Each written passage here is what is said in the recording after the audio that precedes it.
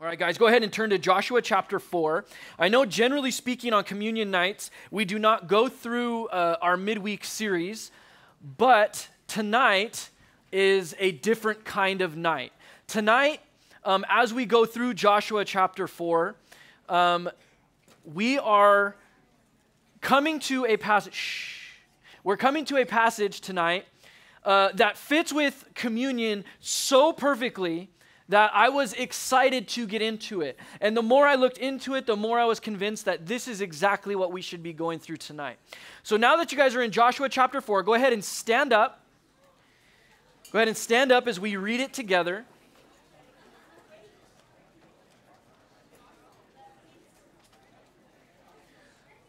All right, shh. Guys, shh. I know it's hard to be quiet for like 15 minutes while we're praying, but. All right. Joshua chapter 4. We're going to read the whole chapter together. 24 verses.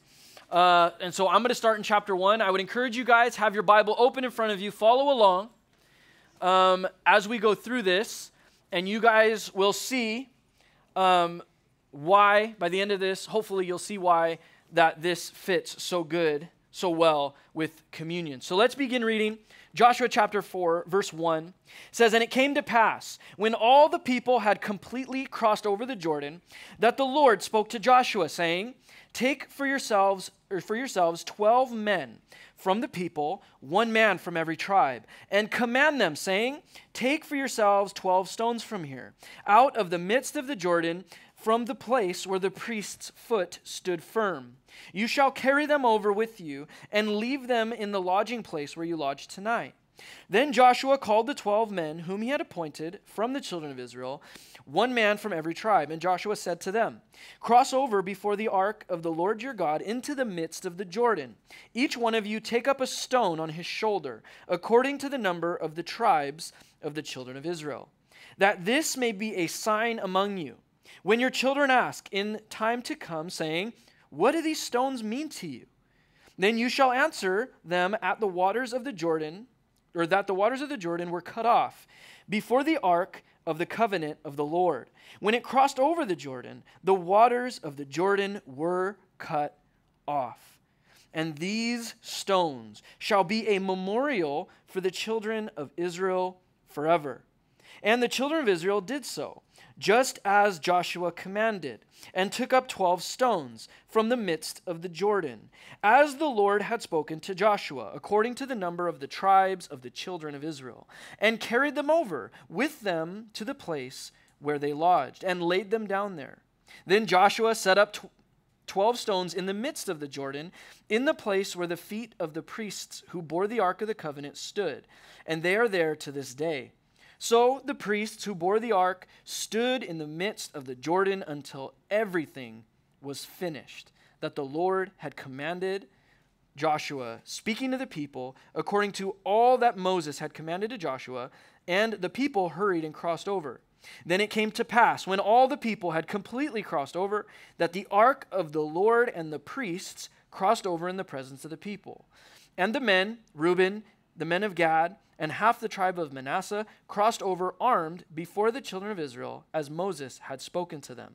About 40,000 prepared for war crossed over before the Lord for battle to the plains of Jericho. On that day, the Lord exalted Joshua in the sight of all Israel, and they feared him, and they had, as they had feared Moses all the days of his life. Then the Lord spoke to Joshua, saying, Command the priests who bear the ark of the testimony to come up from the Jordan. Joshua therefore commanded the priests, saying, Come up from the Jordan. And it came to pass, when the priests who had bore the ark of the covenant of the Lord had come from the midst of the Jordan, and the soles of the priests' feet touched the dry land, that the waters of the Jordan returned to their place and overflowed all its banks as before. Now the people came up from the Jordan in the tenth day of the first month, and they camped at Gilgal on the east border of Jericho. And those twelve stones which they took out of the Jordan, Joshua set up in Gilgal. Then he spoke to the children of Israel, saying, When your children ask their fathers in time to come, saying, What are these stones? Then you shall let your children know, saying, Israel crossed over this Jordan on dry land. For the Lord your God dried up the waters of the Jordan before you until you had crossed over, as the Lord God did to the Red Sea, which he dried up before you or before us until we had crossed over. And in verse 24, that all the people of the earth may know the hand of the Lord, that it is mighty that you may fear the Lord your God forever. Father, we are so thankful that this is recorded tonight. God, teach us through the power of your Spirit. Give us understanding. In Jesus' name, everybody said, Amen. So if you're taking notes tonight, the title of the message is Memorials, Monuments, and Reminders. Memorials, Monuments, and Reminders. This is found in Joshua chapter 4, verses 1 through 24. If we were to take Joshua chapter 4 completely out of the Bible, you could actually read from Joshua chapter 3, that, that narrative, you could jump right into chapter 5 and just keep going. There'd be no major pieces to the puzzle missing. You wouldn't be confused as to what's going on or what happened. And so that gives us an immediate question. That gave me an immediate question. If you can read from chapter 3, verse 17, and skip into chapter 5, verse 1, then why was Joshua chapter 4 recorded at all? That immediately becomes our question. Why record it at all if there's no absolutely necessary uh, details in that chapter? Well, we see the, ver, uh, the reason in chapter 6 and 7. Look back down in your Bibles at Joshua 6 and 7. Joshua 6 and 7 says, This is the reason that it's recorded. Look at what it says. That this may be a sign among you, that when your children ask in time to come, saying, What do these stones mean to you? Look at verse 7. Then you shall answer them that the waters of the Jordan were cut off before the Ark of the Covenant. When it crossed over the Jordan, the waters of the Jordan were cut off. And these stones shall be a memorial to the children of Israel forever. All of chapter 4 is recorded for them and for us tonight so that they would not forget what God had done. That's why chapter 4 is recorded. And that's why the title of the message is Memorials, Monuments, and Reminders. Because the whole point of a memorial or a monument or some sort of reminder is so that you wouldn't forget something that happened or a person that lived. We see from chapter 4 that this was not just some stroll through the Jordan on a Sunday afternoon. This was a monumental event that the Lord did not want them or their children or their children's children to forget. It brings up the obvious idea that we are so prone to forget things. I know you guys are like me. I looked up the statistics today of different things about forgetfulness and our memories. And it's pretty crazy the different way our minds work and how quickly and how much we can forget so quickly. But we're so prone to forget. We're especially to prone to forget what God has done for us and others. That there could be this whole long season of crying out to the Lord and crying out to the Lord and crying out, and then He answers our prayer. And as soon as the problem is gone, we forget. And then we move into another season with another problem that seems so big, we completely forget what God had done for us in the past. And so, co- what God commands them here to do is not new at all. The Lord had actually given them other things to do in remembrance. Many of the feasts are examples of that. We see in Exodus chapter 12, verses 25 and 20, through 27. We're not going to look at it tonight, but if you want to write it down, Exodus 12, 25 through 27. It says that God instituted the Passover so that when their children ask, Why do we do this?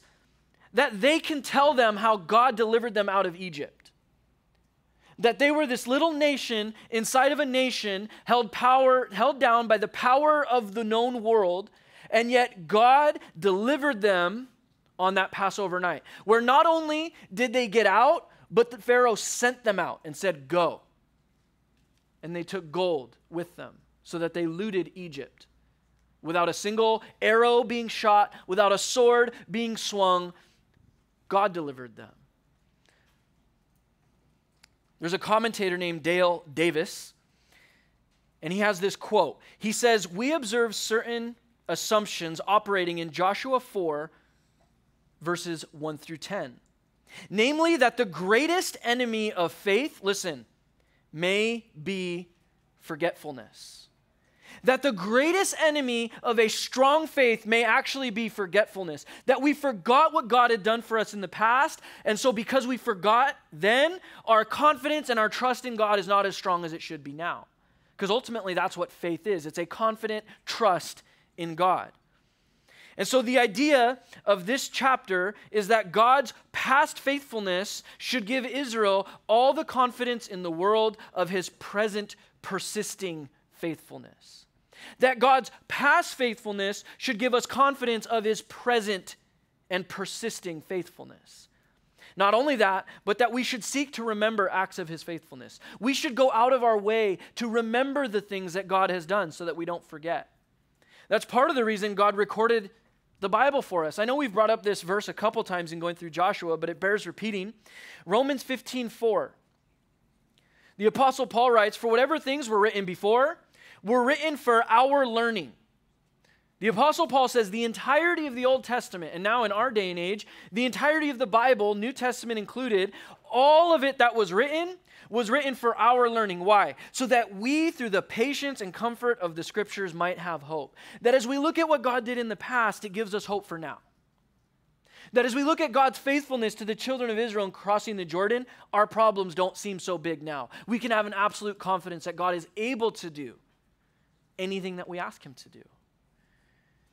The entirety of God's word is like one big arrow or one big sign that announces God is faithful. But it doesn't end there. It doesn't end by simply communicating that God is faithful, but it actually begins there. His faithfulness should fill us with confidence to live the Christian life. And so tonight, as we go through our points, is the, is the PowerPoint not working, Viviana? Okay. So we don't have a PowerPoint, so you guys are gonna have to stay on top of it, okay? Capiche? All right, so our first point is this. You guys are lucky. I used one point, one word points today. So you guys are you guys are gonna nail it. Yep, yep. Okay, memorials, monuments, and reminders. Our first point is this intentional. Simply that. Point number one, write this down intentional. We see this in verses one through three. We're going to see that the Lord is being intentional in what he is commanding Israel to go out of their way and do. He's commanding Israel to go out of their way to not forget what God has done for them. And I think as we talk about it tonight, we're going to see that the same applies for us, that we should go out of our way to not forget. So look at verses 1 through 3 again with me. Says, It came to pass, when all the people had completely crossed over the Jordan, that the Lord spoke to Joshua, saying, Take for yourselves twelve men from the people, one man from every tribe, and command them, saying, Take for yourselves 12 stones from here, out of the midst of the Jordan, from the place where the priest's feet stood firm. You shall carry them over with you and leave them in the, lo- in the place where you lodge tonight. And so the Lord has everyone cross completely over. Listen carefully. He has everyone cross completely over. It says that in verse 1. So they cross all the way over but then he sends 12 people back into the Jordan. For those of you guys who were here last week, remember we talked about those 12 random guys that Joshua picked out? And I said we're going to talk about them next week. Well, this is where those 12 random guys come back in. He gets these 12 guys, one from each tribe, and he says, Go back into the Jordan. So think about this for a moment. They cross all the way over. The priests are still standing in the Jordan. The Jordan is still stopped, it's still dry. He says, You 12, go back. How would you like to be one of those 12? Not only did they have to cross once, they had to cross twice. It's Like, what if, what if the water's coming? What if the thing, what if it doesn't work? And so he takes these 12 guys, sends them back to do what? To get 12 stones. These 12 stones become the focus of our chapter. Back in Joshua 3:12, we saw the Lord commanded to pull these 12 guys aside for a specific purpose. This chapter ultimately outlines, outlines why they were pulled aside. So we see 12 men, one from every tribe, and we see 12 stones. The whole nation is represented by these 12 men. And thus, they are in all the nation is invested in what God is commanding them to do. What God does is very intentional. One man from each tribe, not 10 and 2, not 11 and 1, not one from this, two from this, three from this, and then sorry, Levi, or sorry, uh, Benjamin, you don't get any. No. What it is, is everybody is invested at this point because they all have a representative. The reason this is important is because in Deuteronomy chapter 8, in Deuteronomy chapter 8, God warns Israel not to forget what he had done and what he had said. Go back and read it later tonight. Deuteronomy 8, Moses, well, God speaking through Moses says, Don't forget what I've done and don't forget what I've said.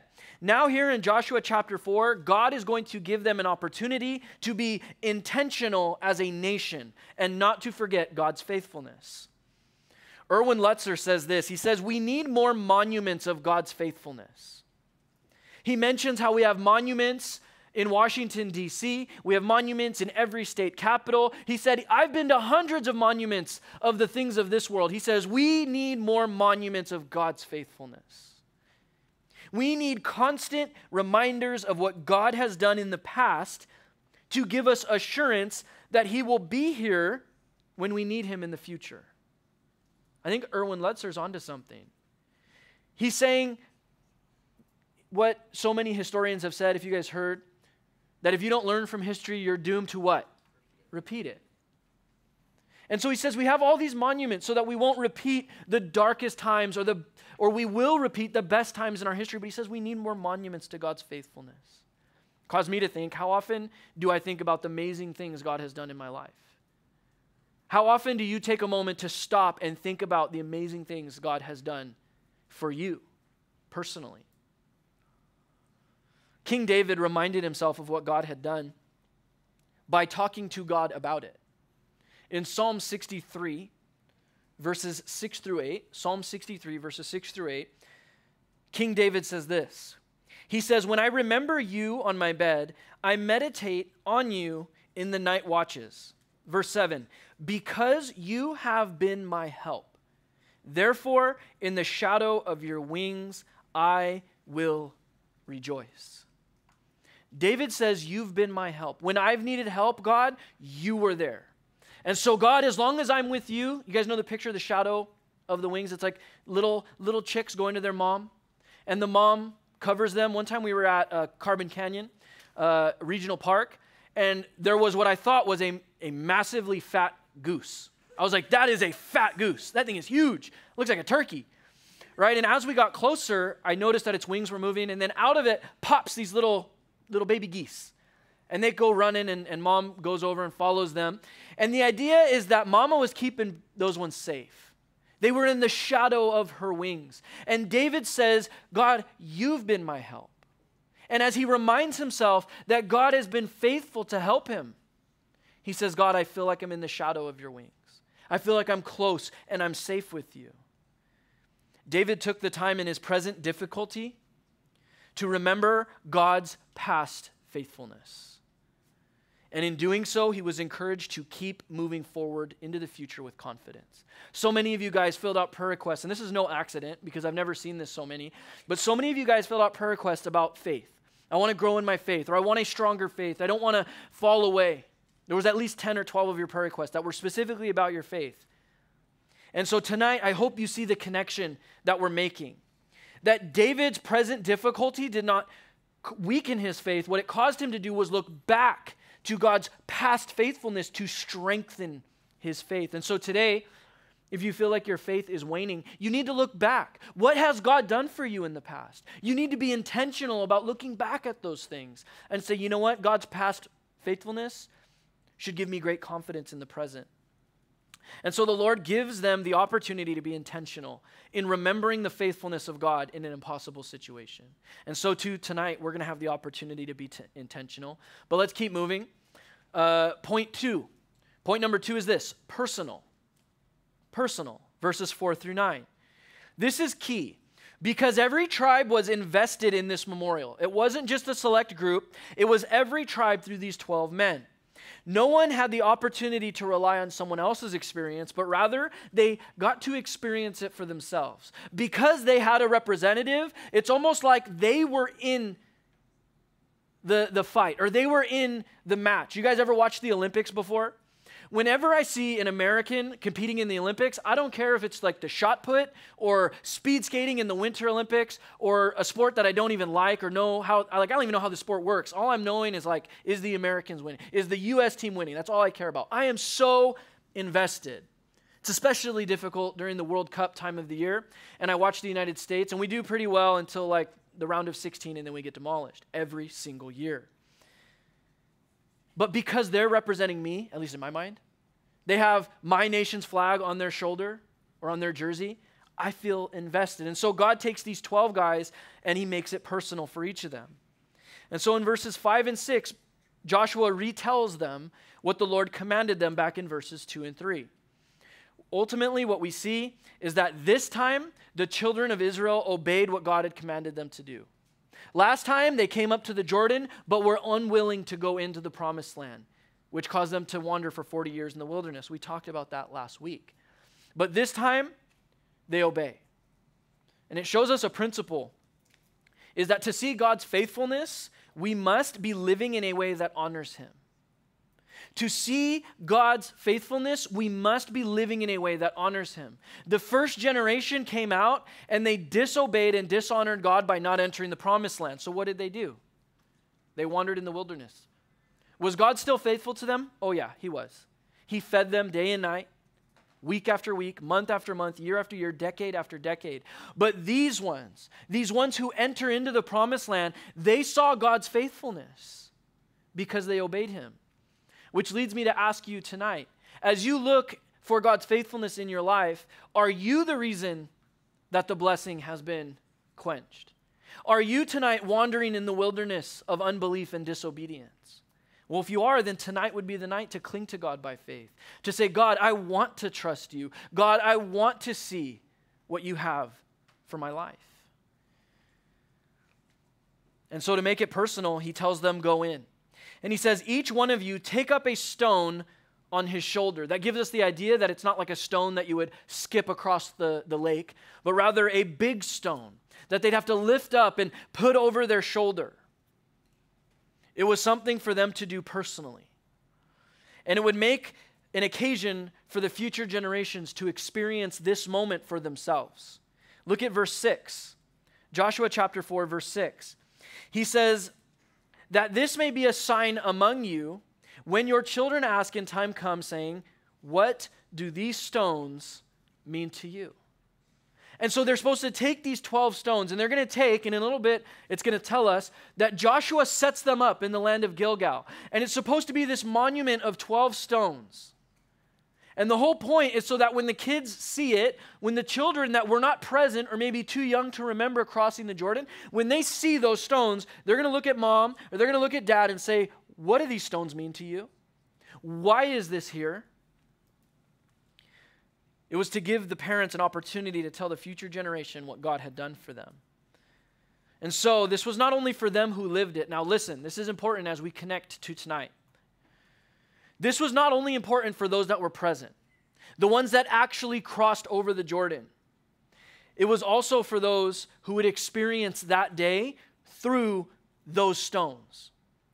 That the children that were born in the promised land after the crossing of the Jordan would be able to experience what Israel experienced personally through those stones. What do you mean?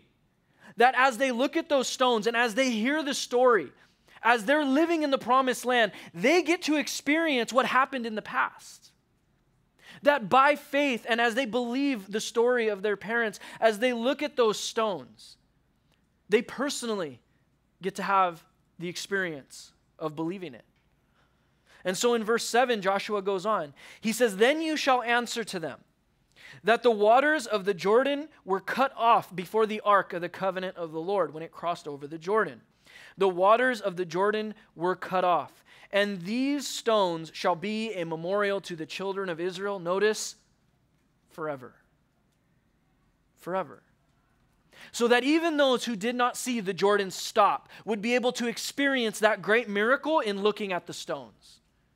That as they look at the stones, that it's clear they came out from the middle of the Jordan, they would be able to, in a very real way, experience it for themselves.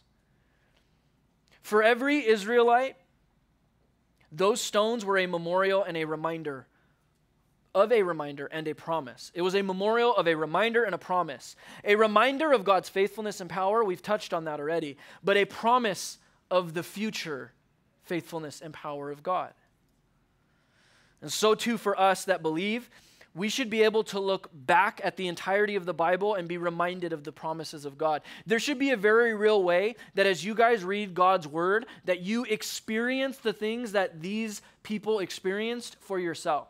That this book is like an entire set of memorial stones written one after the other, that as you read them, you can personally experience the awesome power of God as you're made confident by the things written in the Word. I want to be a little bit more specific. We should look at the life, death, and resurrection of Jesus Christ and be reminded of God's power and promises towards those who believe. That as we look back at the cross, that cross stands like these memorial stones stood. Because you and I did not see the empty tomb, unless you've been to Israel, then you've seen it. You and I were not there like Thomas to touch his hands and his side. But as we look at the cross and as we hear from those who saw it firsthand, we also believe and experience it in the same way. This is not something that can be transferred to you by your mom or your dad, your brother or sister, husband or wife. This is something far more personal than that. And so I want to point you guys back to Matthew chapter 16. Matthew chapter 16, 13 through 14, where Jesus kind of hones in on this idea. In Matthew 16, 13 through 14, it says, When Jesus came to the region of Caesarea Philippi, he asked his disciples, saying, Who do men say that I, the Son of Man, am? So they said, Some say John the Baptist, some Elijah, others Jeremiah, or one of the prophets. There were lots of thoughts about who Jesus was or might be, but Jesus dialed in and got a little bit more specific. You guys know this well, but in the next verse, verse 15, he says this Who do you say that I am? He, he dials in and he points the finger at them and says, I'm not so worried about what they say. What do you say? Jesus cut right to the point. What is it that you say? Who do you say that I am? Ultimately, this is the primary question of all of life. There will never be a shoe in into the kingdom of God. There will never be a shoe in into heaven. You will not get there and say, oh, well, my parents were members of the church. You will not say, oh, but I hung out with all Christians. No. But my family was faithful to attend church every Sunday. That's not what gets you to heaven. There's nothing in this flesh, nothing on this earth that will shoo you into heaven. The ultimate question is this Who do you say that Jesus is? That's it. And so, going back to Joshua, their testimony was to be general and personal. Listen carefully, because this is where the connection is made for the cross. Their testimony was to be general, that is, what did God do for the whole nation? God stopped up the Jordan so that the whole nation could march through. You guys following me? But it was also to be personal. What did God do for them personally? I want you to notice that they did not ask, What did God do for Israel? That's not what the children ask. The children ask, What do these stones mean to you? Mom, what do these stones mean to you? Dad? For us who are uh, Christ followers tonight, we must recognize what Jesus did for us generally and personally. What did Jesus do for us generally? Well, that's John 3:16. For God so loved the world that he gave his only begotten son that whoever believes in him should not perish but have everlasting life. That is the general promise. That is the general thing that God had done for all the world. What did he do? He gave his only son so that whoever believes would not perish. But again, look at that question in verse 6. Look down in your Bibles at verse 6. The children ask, What do these stones mean to you?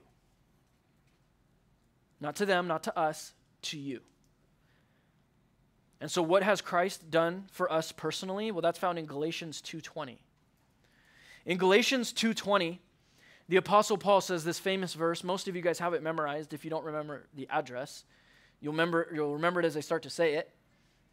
But he says, "I have been crucified with Christ. It is no longer I who live, but Christ lives in me. The life that I now live, I live by faith in the Son of God." Listen carefully. Who loved me and gave himself for me. The Apostle Paul doesn't cling on to the general promise of Christ dying for the sins of the world, although that's true. What the Apostle Paul does is said, God loved me. And Jesus gave himself for me. He makes it personal. Have you recognized what God has done for you personally? It's not just that God saved the nation of Israel through the Jordan, it's that he saved individuals through the Jordan that made up the nation. In the same way, it's not that so God loved the whole world, although it's true. Don't hear what I'm not saying. But it's that he loved and saved individuals within that whole world. And so tonight, I would ask have you made your faith in God personal? Do you own it? Because the children of Israel, though they all crossed through together, had to be prepared to answer the question, what does it mean to you? And you and I must be prepared to answer the question, who do you say that Jesus is? Which leads us to our third point, which is experiential. Go ahead and write that down. Experiential, verses 10 through 18. Now, Joshua describes to the children, he actually describes their crossing over. Okay, there was no more talking about it. It was actually time to move. So in verses 10 through 11, we see that the priests bore the ark and they stood in the midst of the Jordan until everyone, everything was finished. You skip down to verse 11. It says, The people hurried and crossed over. Then it came to pass when all the people had completely crossed over that the ark of the Lord and the priests had crossed over in the presence of the people. And so the people put their feet to their faith. They put their feet to their faith and they actually cross over. It wasn't enough just to think about it. It wasn't enough just to talk about it. It wasn't enough just to want to cross over. Listen, it wasn't even enough to intend to cross over. Oh, I meant to do it. No, none of that was enough. They needed to put their feet to their faith and actually do what God commanded them to do. That's what I mean by experiential. They actually had to do it. In James 2:18 it says, "But someone will say, I have faith, or you have faith and I have works." James in his famous quote says, "Show me your faith without your works, I'll show you my faith by my works." James doesn't say, "Oh yeah, I have faith," and then has nothing to prove. James says, not only do I have faith? I'm going to show you by my experience, meaning I'm actually going to live it out before you. And these children of Israel had the opportunity that was brought to them where they had to experience the promise. They had to actually go do it. And so they did it. They actually lived what they said they believed. And so in, in Joshua 4 12 and 13, we're going to go through it quickly, but it talks about Reuben, Gad, and half the tribe of Manasseh. There was an agreement set up by Moses in Numbers 32 that these three tribes would go over before the children of Israel because they had taken their inheritance on the other side of the Jordan. And so Moses said, okay, deal. We have a deal, but you guys have to go fight first. And they did. And so God did just as he said he would. And then in verses 15 through 18, Joshua retells the story of the priests coming up from the Jordan but I want you to look at the verse, the end of verse 18, because 15 through 18 is him retelling the story. But look at the end of verse 18 with me. It says that the soles of the priest's feet touched the dry land, that the waters of the Jordan returned to their place and overflowed all its banks as before. And so, what he's saying is that the moment the priests stepped out of the riverbed, the water flooded back into place. And it was just in case anybody thought that there was some sort of natural explanation, the Lord times it perfectly so that as soon as the priests step out, the water comes in. God's timing is always perfect. He's the sovereign ruler over circumstances, and our circumstances are never outside of his control. And so, all those that were present that day were there to share their experience with those who were to come. And so, through their testimony, that others would experience it as they walk as well. We actually see the same thing in the New Testament. Write down 1 John chapter 1 verses 1 through 4. 1 John 1 1 through 4 is almost like a New Testament equivalent to this idea of memorial stones and experiencing something through the testimony of another. John says, That which was from the beginning, listen, that to which we have heard, that which we have seen with our eyes and looked upon, our hands have handled concerning the word of life. The life was manifested. We have seen and bear witness and declare to you that eternal life, which was with the Father, was manifested to us. John says, We've heard it, we've seen it, we've touched it with our hands, that the eternal life that dwelled with God forever was made real before our very eyes. Verse 3, he says, That which we have seen and heard, we declare to you. Why are you telling us this, John?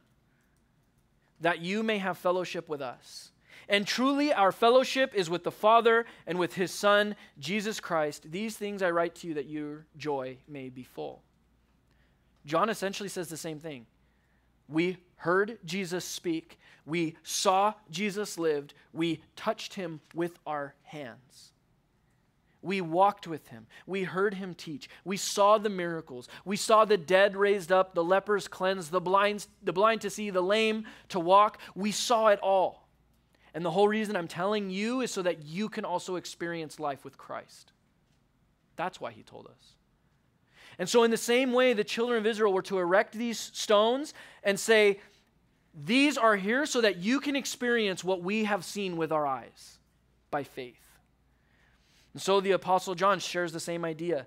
The children, this is the danger, that the children would hear it as just a story.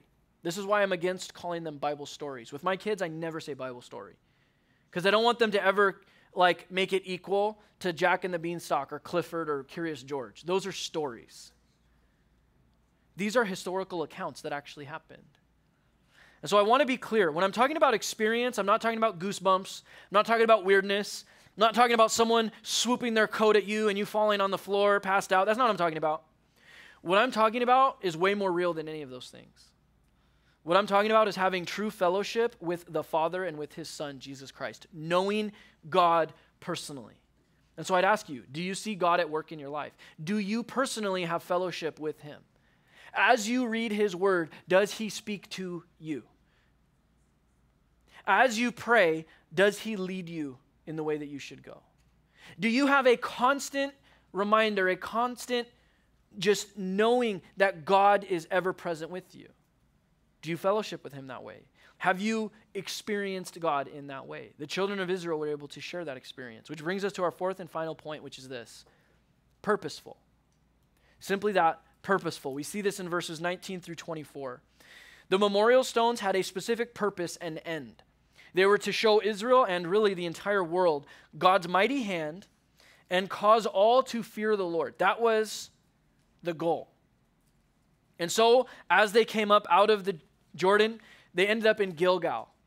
In the city of Gilgal, that's where they built their 12 stones, their monument. This is about eight miles from the Jordan, and it sits on the border of Jericho. Gilgal became a key city throughout Israel's history, but in Joshua's days, they would gather there often. Now, listen, because this is going to bring us to communion tonight. In Joshua's day, they would go back to Gilgal often. Sometimes they would go there after victory, sometimes they would go there after defeat.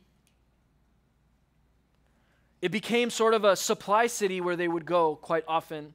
And every time they went there, what do you think they saw? Every time they went there, what do you think they saw? The monument, the stones. And so they kept going back and they kept seeing these stones. And if they were discouraged from a defeat, they'd be reminded of God's faithfulness in the past and his power. If they were excited about a victory, they would be reminded that it was God who gives the victory, not you. And in verse 24, God gives the reason for these stones. He says that all the people of the earth may know the hand of the Lord, that it's mighty, that they or that you may fear the Lord your God forever. This was to bring others to see the power of God. And so you might ask, what does this mean for here for me here tonight? Well, it actually serves a very practical purpose for us tonight. For us to remind ourselves of God's faithfulness often. We are to be reminded of God's faithfulness over and over. Just like the children of Israel returned to Gilgal and they went back and they saw those stones, we should have something in our life that purposely brings us back to the cross. There should be something in our lives that brings us back to the cross to remember what God did in the past is a promise for future or for present power and faithfulness. That God's power to forgive in the past is actually the reminder that He's, he's willing to forgive you now for whatever you've fallen short in. And so Dale Ralph Davis says this talking about Joshua 4, he says the pattern of remembrance carries over for the church.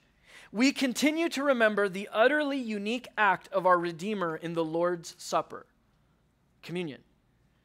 He says, Why this remembrance?